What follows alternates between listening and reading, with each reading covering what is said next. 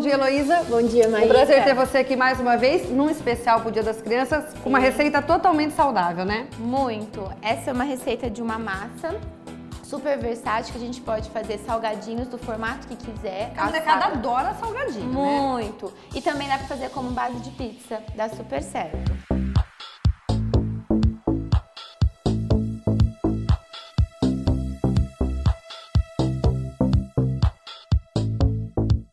Aí eu vou temperar com salzinho grosso, com ervas e alho, mas pode ser o sal do Himalaia, pode ser o sal comum, não tem problema. Agora é só bater. Agora nós vamos para a parte seca. A parte seca é... Você pode chamar a molecada mesmo depois para ir montando os salgadinhos, né? Isso. Depois que você encontra o ponto da massa, aí é fácil de trabalhar com ela. Então nós estamos quase nesse ponto.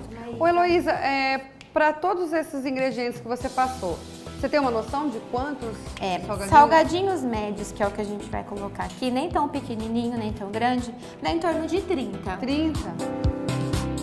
Os nossos salgadinhos já saíram do forno, 40 minutos em média, 30 ou 40 minutos, é isso? Isso, depende do forno, né, Ita? Olha só que belezinha. Esse aqui é seu, Heloísa. Hoje a Heloísa vai provar comigo, gente. Você pegou uma esfirrinha, né? E eu vou pegar o pastelzinho assado. Bom, vamos, vamos lá. lá. Tomara que você goste.